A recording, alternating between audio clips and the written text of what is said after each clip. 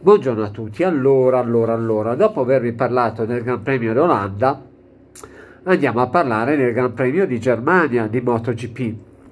Piano piano le facciamo tutte. Lo so, siamo in arretrato, voi sapete già tutto, sapete com'è andata, eccetera, eccetera, ma io per correttezza, perché comunque sul mio canale ci devono essere tutte le gare, eccetera, e quindi piano piano recuperiamo tutto. L'anno prossimo sarà uguale fino a... Eh, non, non, fa, non, farò in tempo a iniziare il... che inizia il Gran Premio che poi iniziò il trabacco e il tempo poi è tiranno, non riesco a vedere le gare umanamente, poi c'è il calcio da seguire, cioè, sì, entriamo nel clou della, della, della Champions, del clou del campionato, quindi ci sono una marea di video da fare, io sono anche impegnato con il lavoro per x ore e quindi eh, ragazzi miei farò quello che posso. Però adesso che sono free andiamo a recuperare tutte le gare. Quindi partiamo subito col Gran Premio di Germania Sprint e vediamo com'è andata perché ha vinto Jorge Martin, quindi parte bene la settimana o il weekend per Jorge Martin che vince la sprint davanti a Olivera, Bagnaia, e quindi recupera un po' di punti su Bagnaia e si sfugge. Quarto posto per la bestia Bastianini, quinto Morbidelli, sesto Mar Marquez, settimo Vignales, ottavo Binder, nono Alex Marquez e ahimè decimo Bezzecchi che non becca una beata Giovanna di punto perché col decimo posto non vinci nulla, solo il nono prende il punticino. Ma prima di parlarvi di come è andato il Gran Premio vero e proprio, non la sprint, che oh, sono sempre punti, eh? il primo se ne prende 12 o 13, 12 se non sbaglio. Eh, sono punti, non è che fanno schifo. 12 punticini potrebbero fare la differenza in un mondiale. Andiamo a vedere la griglia di partenza col bronco di Riace che mi stressa come sempre i testi, non c'è speranza, oggi è così. Allora, io sono a casa tranquillo, non devo fare video, non devo fare niente, mi guardo video su YouTube, guardo le gare di MotoGP, fazzoletto non lo uso. Inizio a fare i video, lui deve rompermi le balle e continuare a farmi o starnutire o soffiare il naso. Vabbè. Comunque, griglia di partenza del Gran Premio di Germania. Prima fila, Jorge Martin, Oliveira, Raul Fernandez. Seconda fila, Bagnaia, Alex Marquez e Morbido Morbidelli. Terza fila, Vignales di Gian Antonio e Bastianini la Bestia. Quarta fila per Acosta, Binder e Bezzecchi.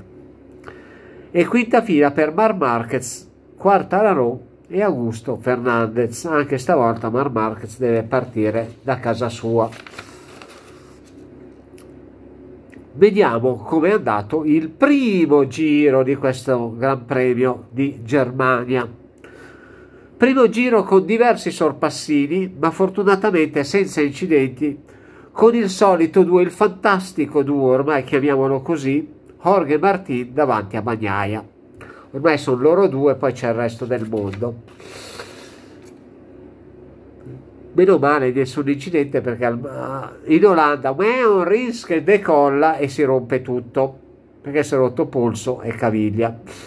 Fortunatamente non si è fatto male nessuno nessuno è caduto eccetera eccetera.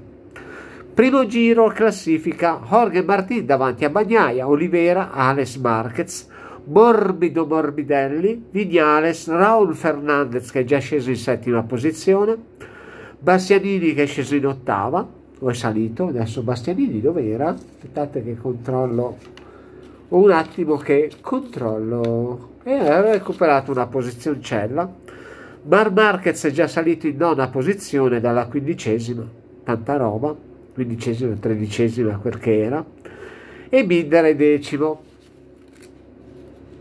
era in quinta fila, quindi tredicesimo, nono, non male. Secondo giro, intanto Morbidelli passa in quarta posizione mentre Bagnaia passa subito Martin e Morbidelli a sua volta supera Olivera e va sul podio. Ma la gara, ragazzi miei, è solo all'inizio. Siamo solo all'inizio, 30 giri, 30. Sembra il cucciolone, 8 morsi. Questi sono 30 giri. Certo, sono giri di un minuto e 20, circa un minuto 21, un minuto e 22, non sono giri da un minuto e 50. Però 30 giri. Settimo giro, risposta di Jorge Martin che ripassa Bagnaia e si riprende la prima posizione. Intanto Vignales va dritto e finisce nella ghiaia, rientrando, ahimè, per lui in diciottesima posizione. Adesso dovrà ricostruire tutto e cercare almeno di entrare nei dieci.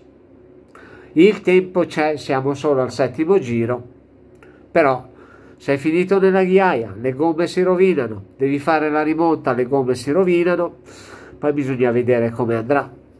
Nono giro, Morbidelli passa Bagnaia e si prende la seconda posizione, facendo un bel favore anche a Jorge Martin, che così qualche punticino in più lo recupera su, sul pilota italiano. Decimo giro, purtroppo saluta la gara di Gian Antonio che rientra mestamente ai boss e guarda la moto per capire che cacchio è successo perché boh, alla fine hanno scoperto che, ahimè, era una foratura foratura al posteriore. E lì è sfiga, ragazzi. Lì è sfiga. Perché sai, ti si rompe la moto, è sfiga sempre, però ci sta ma la moto che fora. Quindicesimo giro, Magnaia passa Morbidelli e si riprende la seconda posizione. Alle loro spalle Mar Marquez supera Olivera e adesso va a caccia del fratello e chissà cosa succederà poi tra fratelli. Se Alex gli dice prego, fratellone, vada pure, io non mi permetto di, visto che comunque sono nello stesso Ducati, oppure, eh no, ciccio, te la devi guadagnare la posizione, io mica te la do, come direbbe sempre la mia amichetta, io mica te la do, eh va bene, farò a meno. Classifica quindicesimo giro. Prima, primo, primo Orge Martin davanti a Magnaia. Vabbè. Ormai se non è zuppa è pan bagnato. Terzo Morbidelli, quarto Alex Marquez, quinto Mar Marquez, sesto Olivera, settimo la bestia Bastianini, ottavo Raul Fernandez, nono Acosta e decimo Binder. Al diciassettesimo giro Alex Marquez passa Morbidelli e sale sul podio, quello basso naturalmente, il terzo, terzo posto. Mentre subito dopo Bastianini supera Oliveira e sale in sesta posizione, quindi doppio sorpasso nello stesso giro di due piloti diversi, eh? non dello stesso. Al ventiduesimo giro si toccano pesantemente le moto di Morbidelli e Mar Marquez, ma fortunatamente restano in sella e le moto non hanno grosse conseguenze, anche se qualche pezzettino è saltato, perché praticamente uno va largo, l'altro va stretto e poi tac, tac, hanno fatto proprio tac così, no? Uno rientrava, l'altro stringeva e si sono si sono beccati in mezzo alla pista più o meno. Poi però sono rimasti in piedi tutte e due tutto a posto niente di che. Un, un diciamo un disguido se mi permettete il, il termine. Al ventitresimo giro Bastianini attacca Mar Marquez. Fanno un paio di curve affiancati ma il pilota spagnolo riesce a tenersi la posizione quindi uno di fianco all'altro. Poi naturalmente uno aveva la curva interna, la volta dopo ce l'aveva quell'altro, però sono rimasti lì tutti e due con fair play, nessuno dei due che è andato a rompere le scatole all'altro, lasciando lo spazio per fare le curve e quant'altro, non cercando magari di buttarlo fuori pista quando aveva la curva interna. E alla fine l'ha spuntata il più esperto, eh, Ragazzi miei, voi sapete benissimo la mia idiosincrasia, se mi permettete il termine, comunque la non simpatia per Mar Marquez, però quello è soggettivo. Oggettivamente lui è tanta roba. Cioè, perché bisogna imparare, ragazzi miei, quando si dà un giudizio, a tenere separata la soggettività dall'oggettività. Se tu pensi che uno, se uno ti sta sulle balle, ti sta sulle balle, non può esserti simpatico, anche se è un campione. Ci sono campioni che uno dice io tifo quello lì, perché mi sta simpatico, eccetera, eccetera. Poi vedi un altro, dicevo, io ammiro quel, però mi sta sulle balle. Ma quando do i voti, io devo guardare l'oggettività, non la soggettività. Se uno fa una buona gara, fa, vince, lo applaudi, anche se ti sta sulle balle. Se uno fa una pessima gara, arriva male, eccetera, eccetera, però ti sta simpatico, non per questo devi dargli un voto comunque sufficiente perché ti sta simpatico, no, gli devi dare un voto brutto ma quella è l'oggettività. Poi soggettivamente uno può pensarla come vuole. Bisogna sempre essere bravi, non è facile. Comunque, ventitresimo giro, l'abbiamo già detto e andiamo avanti perché mi ero perso. Ventiseiesimo giro, Mar Marquez passa Morbidelli e si prende la quarta posizione e adesso anche Bastianini prova a passare il buon morbido che però resiste e resta attaccato a Mar Marquez. Gli dice Ciccio, stai dietro che adesso io vado a riprendere quello là, così impara a sorpassarmi. Al ventisettesimo giro, bella sfida tra Bastianini e Morbidelli, con il morbido che resiste per quasi mezzo giro con sorpassi e controsorpassi. Quindi già questo fa libidine per quanto riguarda la gara. E poi, ragazzi miei, al ventinovesimo giro arriva eh, quello che non ti aspetti, quello che non ti aspetti, quello che non ti aspetti, perché Jorge Martin finisce nella ghiaia e regala letteralmente la vittoria a Bagnaia e il primo posto nella classifica di Coppa del Mondo. Scivolata classica, il buon Guido Meda ha detto, eh beh ragazzi miei, avere dietro uno sempre a mezzo secondo che si avvicina, si avvicina, si avvicina e tu devi spingere sempre di più per tenerlo sempre a debita distanza, alla fine della fiera vai fuori giri e rischi di finire fuori. È un po' come quei tennisti, no? Che giocano, hanno lo stesso gioco, solo che uno è più forte dell'altro.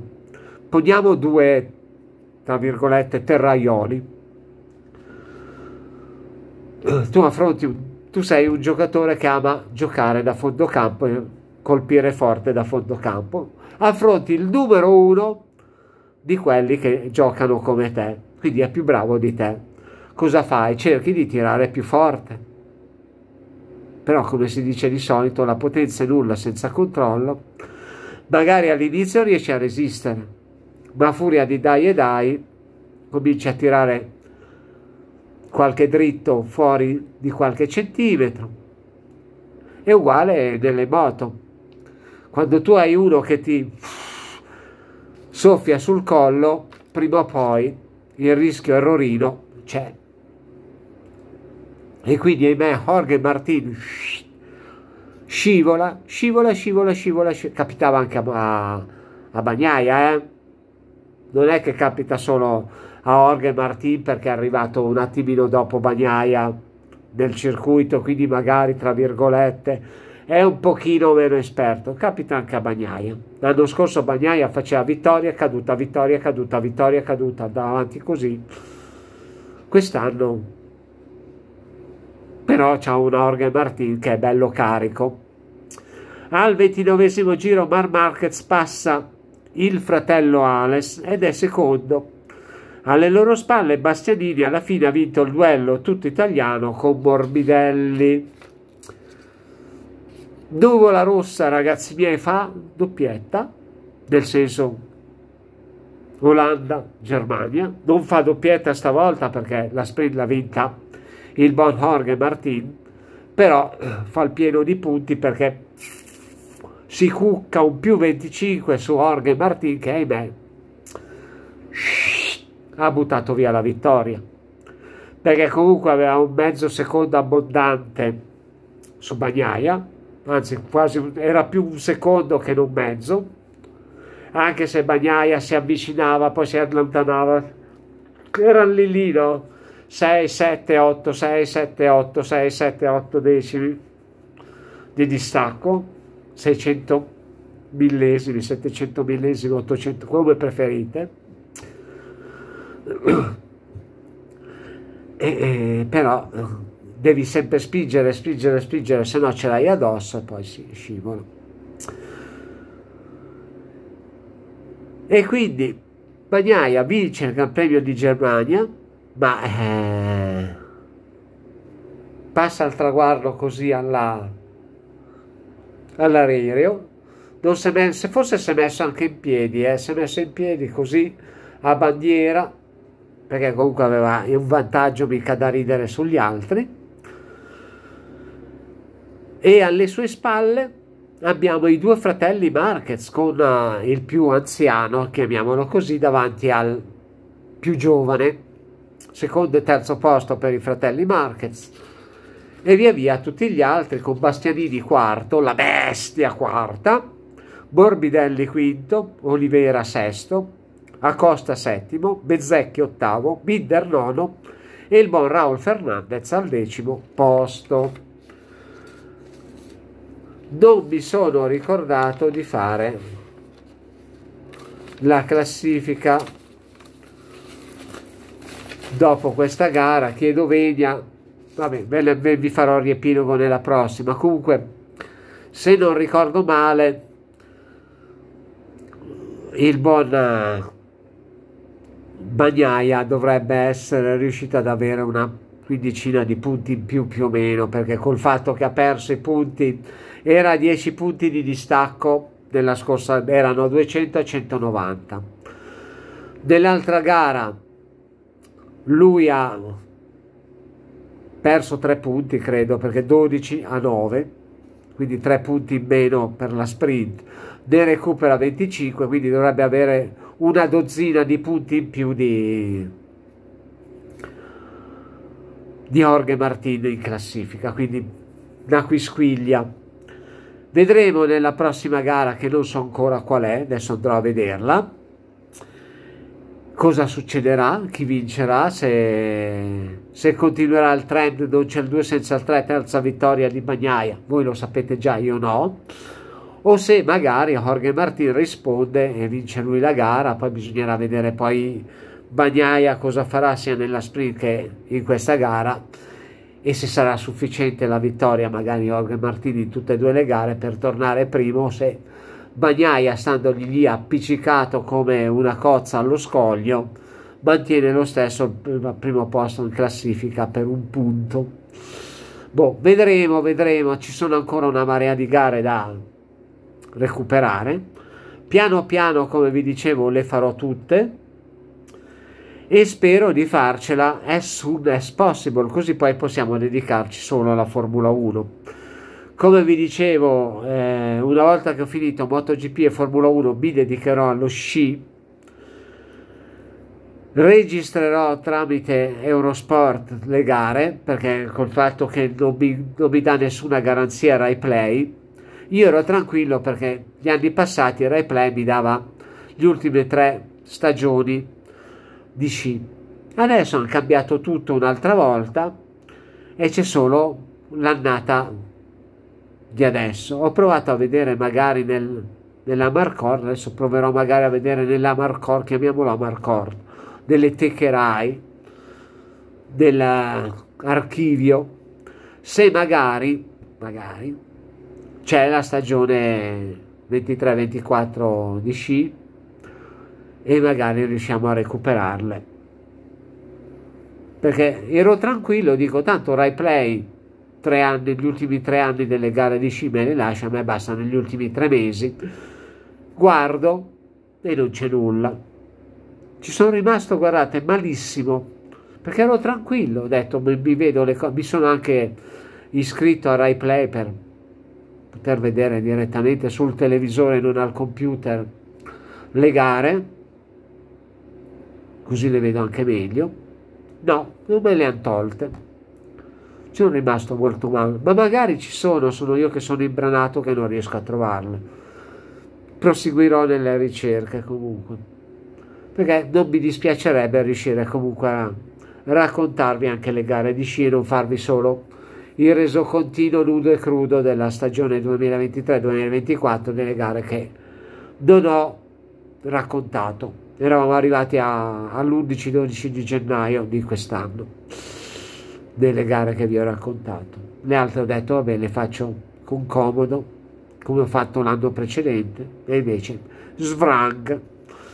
Vabbè, ragazzoli, lasciamo perdere perché qua si parla di MotoGP e naturalmente ci vediamo al prossimo video che non farò oggi, ve lo dico subito, per oggi chiudiamo qua perché sei video vi ho già lesionato abbastanza i testi, se no poi mi dite Gigi non esagerare che ne fai troppi.